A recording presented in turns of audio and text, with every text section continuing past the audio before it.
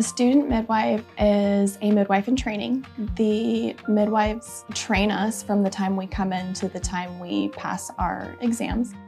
They work closely along with the midwives in either observing, participating in the actual birth, or sometimes even primary in your birth. So depending on what stage you're at in your apprenticeship, we are either watching your birth, we are helping to facilitate things in the room alongside the midwives, or we are running the birth. We do clinicals twice a week, just like the midwives come in twice a week.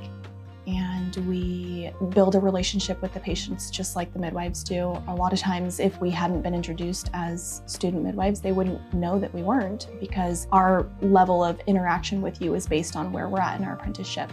If the midwives are not comfortable with our level of learning, then we don't participate in certain things. So it's a safe way for us to learn while also keeping our moms safe and becoming a midwife. That process usually takes anywhere from a minimum of two years to close to three years.